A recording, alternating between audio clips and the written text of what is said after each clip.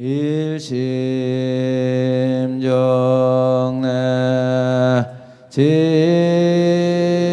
진시방 삼세 일체 재물 일심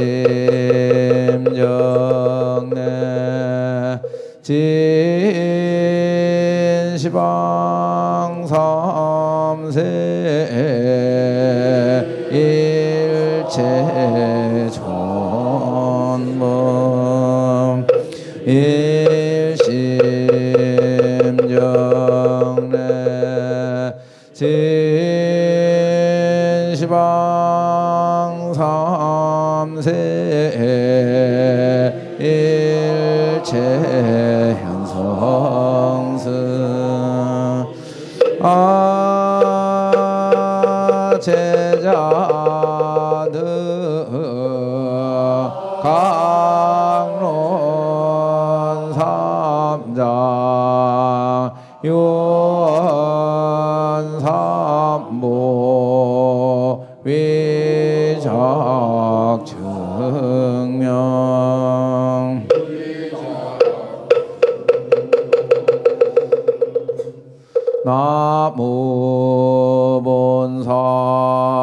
본사 서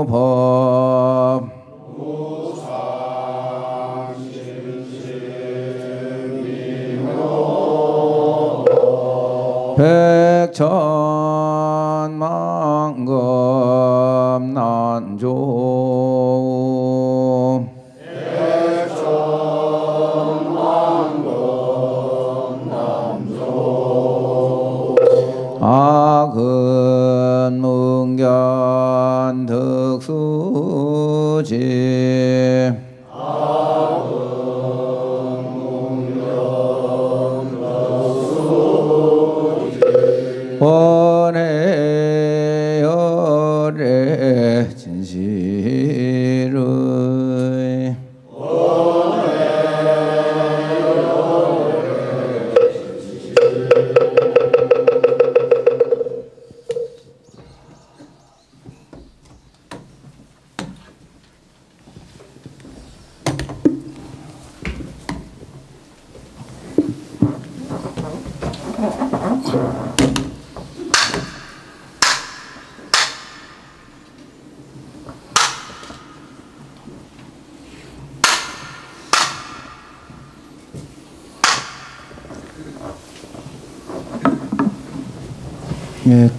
주세요. 뭐 꽃, 꽃을 올려? 작은 화분을 가졌더니 남아서 선생님 나오세요.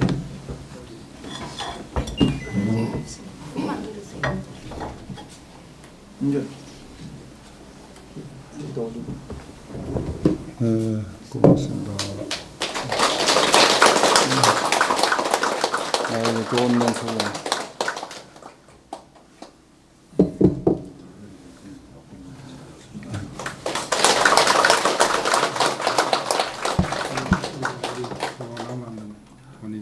네, 복궁양이 잘 사용하겠습니다.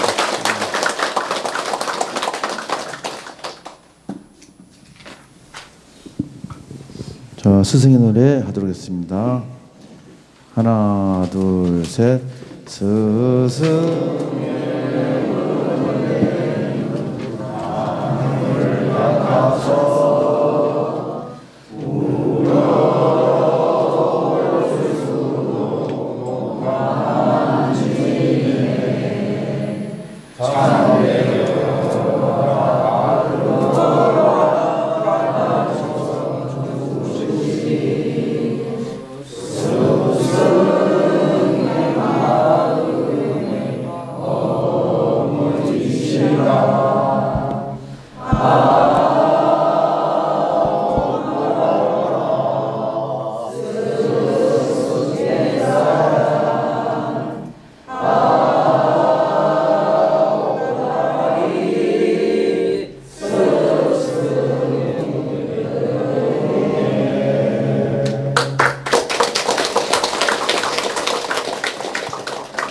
스님 늘 청안하십시오. 감사합니다. 고맙습니다. 자리에 앉으십시오.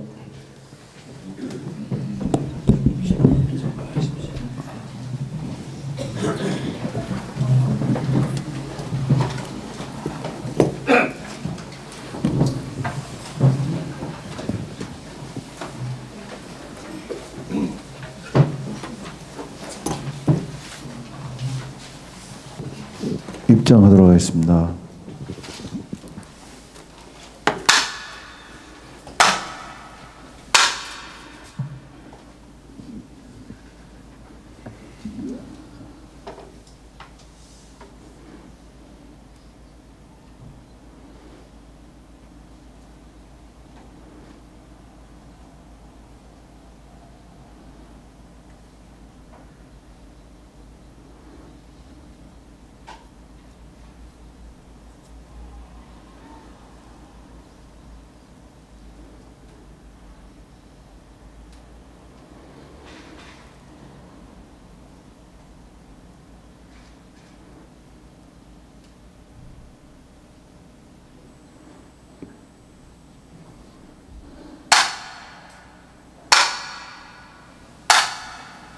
영수살약창계나 모장세계 위로나라전법신 현재 설성노사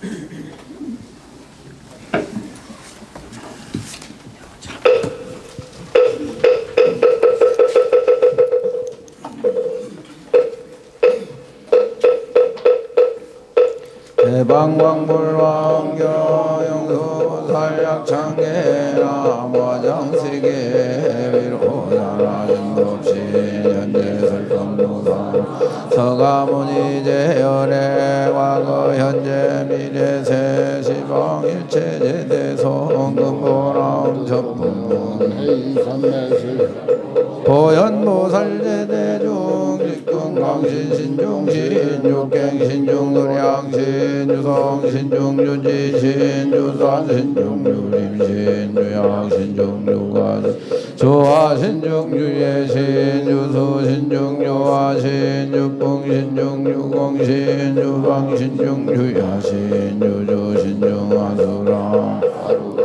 긴나라 마우라가 여차왕 제대왕 무간다 원달왕 월 천자 일천자 중도리천 야마천왕 노솔천 화락천왕 타와천 대범천왕 변정천왕 광과천 대자제왕 불과설 보현문수 대보살 법배 공덕 금강당 금강당 금강 광현당 급수미당 대덕 성문사리야 급여 비구 해각등 우바세 장 우바이 선제동자 동면 기수무량 불가설 선제동자 선지식 문수사리 체질 덕문의 선주승 미가의 탈야의 교사 비목 구사선 승열바라자 행여 성견자 제주동자 구조구바 명지사 목공회장여고 무렴조각 대강왕 부동우바 변행에 오바라와 장자인 바시라 선무상승 사자 변신 바수밀 미실지라. 관자지존여 정치에 대천한 주주지신 바산과연주야신 모독정광주야신 이목관철중생신 모구중생모독 적정음해 주야신 수호일체 주야신 계부수화주야신 대원정진역구 묘도훈 구관여 마야우인 인천정왕 변우동자 중에 가 연승경고에 탈량묘장자 무승군 최적정바라 문자 덕생동자 유동염 이르고 수당 모현보살 어차배운집내 상수비로 자라불 어려라장세계 조화장업 대법륜 시방홍제시세계 상설바 영육육사급여 삼일십일일 약구일 세주명렬의 상고연 삼내세계 성화장세계 노사하열의 명사성지. 광명각 법문명품 청행연수 수미정 수미정 상계참분 보살 십주 행품 말씀공능능공 불승야마 천궁포야마 천궁계참분 시행불묘무진장 불승도 설 천궁품 도설 천궁계참분 시배양거집집.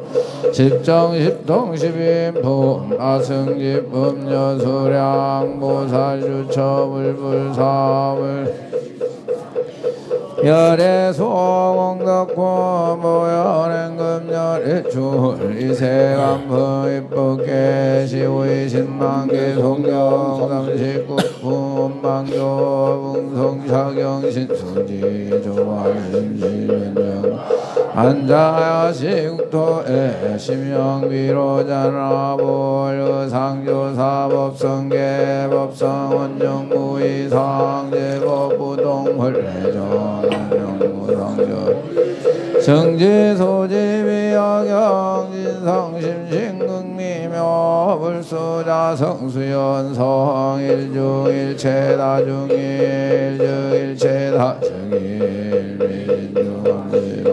일체진중 영여시 무량운거 즉일염 일염즉시 무량거 구세십세 오상즉 인굴장 난각별성 조발심시 변정각. 생사열반 상공아 이사명현무분교 십불보연대 인견 등이 외인 삼매중 번출여 이부사의 후보식생만호 저희시고 행잠본제 바식망상필부등 무연성교 창녀에게 가수원자 내 나라 무진보장 법계 실보장 궁자 실제 중도상 구례부동 해불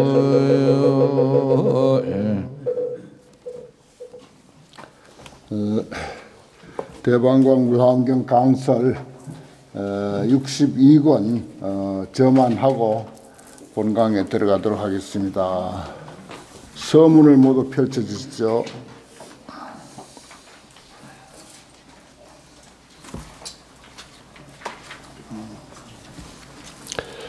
문수보살의 미묘한 지혜는 맑고 밝은 태양이여라. 중생들을 크게 불쌍히 여기는 마음은 미치지 않은 데가 없는 음만한 바퀴가 되어 중생들의 번뇌의 바다를 다 말려버리시나니 부디 저희들을 살펴주소서. 문수보살의 미묘한 지혜는 맑고 밝은 달림이여라.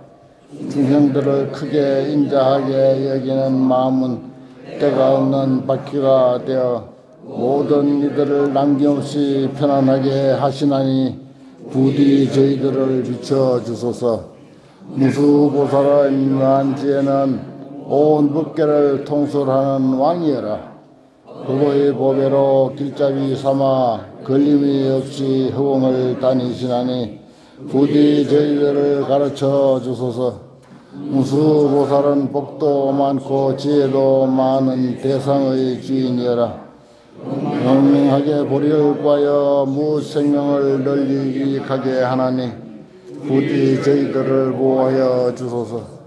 무수보살은 몸에는 응용의 갑옷을 입고 손에는 지혜의 칼을 든 뛰어난 장군이여라. 무수한 음악원들을 자세하게 한국받으시나니 부디 저희들을 구제하여 주소서. 운수보살은 법이 머무는 수미산 꼭대기에 어라. 점정의 주녀들이 항상 모셔 미혹의 아수라를 소멸하시나니 저전 대왕이여 부디 저희들을 보살펴 주소서. 욕계와 색계와 무색계는 어리석은 범부의 집이요 미혹과 업은 지옥으로 가는 길의 원인이여라. 인자하신 무수보살께서 모두 저복하시나니 캄캄한 밤에 등불이 되어 부디 저희들이 가는 길을 밝게 비춰주소서. 모든 나쁜 길은 나쁜 길은 다 여의고 모든 착한 길은 착한 길은 다 깨끗하게 하여 일체 세가를 초월하신 무수보살이시여 부디 저희들에게 해탈의 문을 보여주소서. 세상 사람들이 빠져있는 뒤바뀐 고집인 항상 하고 즐겁고 나가고 깨끗하다는 생각을 무수보살님은 지혜의 눈도 모두 능히 떠나셨나니 부디 저희들에게 해탈의 문을 열어주소서 바른 길을 잘 아시고 분별하는 마음 겁이 없으시나니 온갖 것 분명하게 다 아시는 문수보살님이시여 부디 저희들에게 보리의 길을 보여주소서. 무수보살님은 부처님의 바른 견에 머물고 부처님의 공덕 발음을 기르며 부처님의 묘한 법의 꽃이 내리시나니 부디 저희들에게 보리의 길을 보여주소서. 무수보살님이시여 과거 미래 현재 모든 부처님이 곳곳에 모두 다 두루하여 마치 해가 세상에 뜬 것과 같으시나니 우리 저희들을 위하여 그 길을 말씀해 주소서 무슨 보살님이시여 중hin들의 온갖 업을 다 아시고 업에 따라 가르치는 모든 수행의 길을 깊이 통달하셨나니 부디 저희들에게 대성의 가르침을 보여주소서 이 문수보살에 대한 그 내용이 이렇게 아주 자세하게 찬탄의 글로 됐습니다. 선제동자가 구법 행각하는 입계품의 내용 맨 처음에 무수보살을 만나죠. 그러면서 믿음을 확고히 예, 합니다. 그 믿음이 바탕이 됨으로 해서 그 다음에 어, 그 십행, 십주, 십행, 십, 십회양, 십지 등각 묘각으로 이렇게 이제 나아가기 때문에 그래서 아주 어, 운수보살에 대한 그런 그 내용이 이렇게 풍부하게 참 어, 아름답게 잘 아주 표현되어 있습니다. 어, 스님들 법회하실 때 어, 이런 것 그 찍어서 한 장씩 돌리고 같이 읽고 또 읽고 또 읽고 그리고 이제 한 구절 한 구절 그 자기 소견을 더해 가지고 어 그 설명한다면 뭐 그보다 더 좋은 부패가 없으리라고 생각합니다. 어느새 62권째 이렇게 돌아왔어요. 어, 이제 1년 반 남았습니다. 어, 오늘 나눠드린 그 염화실지는 어, 특별한 그 부분이 있습니다. 어, 여기 저 아, 56페이지죠. 뒤에 넘어가면은 어, 건당식에 대한 내용이 이제 오늘이 처음이고 앞으로 자세하게 그날 있었던 그런 그 아, 내용들을 하나도 빠짐없이 이렇게 어, 해명하 보살님이 아주 잘 기록해서 이렇게 남깁니다. 여기 보면 사진도 첫째 이제 다 올라져 있어서 어, 보기도 좋고 그 다음에 이제 건당식이란 과연 무엇인가 어, 그 한국 민족 대백과 사전에 근거해서 백과 사전에서 설명하고 있는 내용도 그대로 어, 이렇게 다 어, 인용했고 그 다음에 이제 어, 건당 제자 어, 이름과 법포 이런 것도 다 소개가 되고 그 다음에 뭐 심지어 반야신경 외운 것까지도 다 돼 있고 어,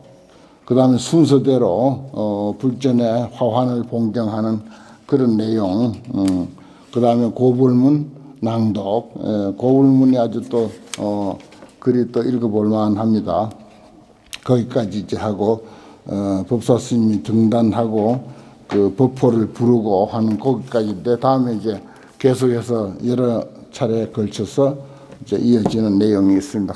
어, 해당되지 않는 분들도 어, 그, 아, 건당식이라는 게 이런 것이구나 하는 것을 어, 아, 그 숙지하시면 어, 좋을 것 같습니다. 그리고 오늘 또 거기 저 청량사 어, 법안 스님이 이렇게 에, 두 가지 에, 선시하고 중도가 부처님 이런 이제 어, 법문지라고 할까요? 일지경 나는 이런 것을 일지경이라 이렇게 일찍이 불렀는데 이걸 가져왔습니다. 그 중에 이제 에, 성철 스님 법문인 중도가 부처님이다 하는 데 대한 말씀을 조금 이제 에, 그 주석을 달고 넘어갈까 합니다. 어, 불교에는 뭐 무수한 낱말이 있어요. 그 중에서도 중도란 말은 참 중요한 말인데 에, 부처님 하더라도 거기에 대한 해석이 구구합니다. 여기에 이제 모인 대중들도 각자 자기가 그 알고 있고 들어오고 느끼고 뭐 깨달았고 어, 아 부처님은 이런 것이다라고 나는 설명하겠다. 아, 만약에 1분을 준다면 1분짜리 에, 설명은 이렇게 하겠다. 한 시간을 준다면 한 시간짜리 부처님에 대한 설명은 이렇게 하겠다. 이런 것이 다 다릅니다. 다. 중도도 마찬가지예요. 근데 성철 스님은 중도가 부처님 이렇게 했습니다. 제가 그 전에 언젠가 그 만선동기 중도송이라고 하는 영영연수선사 만선동기집 끝에 중도송이라고 하는 그런 그 아, 어, 개성이 있는데 그것을 한번 나눠드린 적이 있는 것 같기도 하고 한데 음, 그걸 내가 아 좋아서 이제 그걸 이제 아 중도는 이렇게 설명되어져야 옳겠다 하는 생각을 했어요. 여기에 보면 중도가 부처님 이렇게 했습니다. 어, 그러면 부처님은 마음이 부처님이다. 그러면 중도가 마음이다. 마음이 부처님이다. 어, 같은 뜻입니다. 그 이게 이제 유형이든 무형이든 간에 에, 그 유형 무형으로 따질 그런 처지는 아니지만은 어, 부처님하고 중도라고 하는 것하고 같은 어떤 것으로 생각하게 만들어요. 이 제목을 보면은 제목이 또 그렇고 그 안에 내용도 그렇습니다. 어. 그런데 저는 중도 정견이라고 하는 말을 에, 그 조금 부연 설명해서 중도라고 하는 것은 어떤 사물이나 사건이나 어, 무엇이든지 바로 본 견해다 일종의 견해다 이 말입니다 견해 예. 그러면 중도라고 하는 말을 어떻게 쓰여져야 하는가 하면은 중도적으로 봐야 한다. 사람도 중도적으로 보고 스님도 중도적으로 보고 어 일체 것을 전부 중도적으로 봐야 된다. 그 말은 무슨 말인가 하니 치우치지 말고 봐야 한다. 어, 어떤 편견도 갖지 말고 봐야 한다. 그 보는 관점의 한 방법입니다. 중도란 말은. 그 이건 이제 성철 스님 설명하고는 좀 다른데요. 다르기 때문에 내가 말씀드리는 것입니다. 중도가 부처님이다라고 하는 게 아니고 중도적으로 봐야 한다. 부처님도 중도적으로 봐야 돼 하고 우리 마음도 중도적으로 봐야 하고 남자도 중도적으로 봐야 하고 여자도 중도로 봐야 하고 일체 사물을 중도로 봐야 한다. 어, 치우치지 말고 봐야 한다. 예를 들어서 어, 분필이 있는데 분필은 어, 칠판에 글씨를 써서 우리에게 지식을 전달하는 도구입니다. 근데 좋은 학생에게 던져서 어, 그 잠을 깨우는 무기가 되기도 해요. 어. 그렇다고 항상 무기로 써서도 안 되고 또 항상 어, 글씨 쓰는 데만 쓰일 수도 없습니다. 음.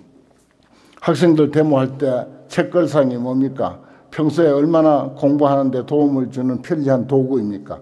그런데 데모할 때는요, 이게 불 지르는 불쏘시개가 되고, 그, 아, 자기의 어떤 그 분노를 표출하는 그런 거, 어, 그래서 교실이고 학교고 불을 지르는 도구가 되기도 하고 그렇습니다. 어. 치우치게 볼 수가 없는 거예요. 어. 모든 사람, 그건 극단적인 표현이지만은 모든 사람, 모든 일, 아, 모든 사물을 그렇게 중도적으로 봐야 됩니다. 어. 그렇게 치우치지 않고 보는 것이 에, 말하자면 어, 중도적인 견해다. 중도적으로 보는 것이다. 보는 관점의 방법을 말하는 것이 중도란 말이지. 뭐 아, 마음이 중도다, 부처가 중도다, 일심이 중도다, 아, 참마음이 중도다 이런 이야기는 물론 참마음도 중도적으로 봐야 되고 부처님도 중도적으로 봐야 되고 마음도 중도적으로 봐야 된다 이런 말은 맞아요. 어. 그런데 마음이 중도다 이 말은 조금 그 저는 견해를 달리하고 있습니다. 그래서 음, 영명연수 선사는 이제 어, 예를 들어서 우리가 나열 환화 공구 중도라고 하는 것을 어, 이제 초팔도 어, 다가오고 어, 우리 사찰에서는 항상 있는 일이지만 부처님께 공양구를 많이 올리잖아요. 어, 공양구를 올리는 문제를 중도적으로 어떻게 이해해야 되느냐? 어, 중도적으로 이해해야 돼. 공양구가 중도다 이렇게 하면 말이 안 되잖아요. 공양구 올리는 것도 말하자면 중도적으로 우리가 이해하고 어, 중도적으로 올려야 된다. 어, 이렇게 하면 말이 돼요. 그럼 나열 환화 공구라 나열한다 공양구를 많이 올리는 꽃도 올리고 쌀도 올리고 밥도 올리고 과일도 올리고 돈도 올리고 무엇이든지 막 올립니다. 올리는데 그것은 무엇이냐 실제 하는 것이 아니고 환화 환영과 같은 것이고 어 그 영상과 같은 것이고 환화 어. 그런 공양구이지만은 그러나 많이 올려야 된다 정성껏 올려야 된다. 어. 아니 환화 같은 공양구라면 뭐 올릴 게 뭐가 있으며 또 많이 올릴 게 뭐가 있으며 정성이 들어갈 까닭이 뭐가 있느냐 이렇게 반문할 수가 있습니다. 그런데 그건 이제 중도적인 견해가 아니라는 거죠. 우리가 부처님께 부처님도 환화예요, 환영이요. 어. 아니 환영 이전에 목불이고 석불이야 따지고 보면 어. 나무 조각이고 돌 조각이야. 어. 그걸 우리가 부처님이라고 생각하고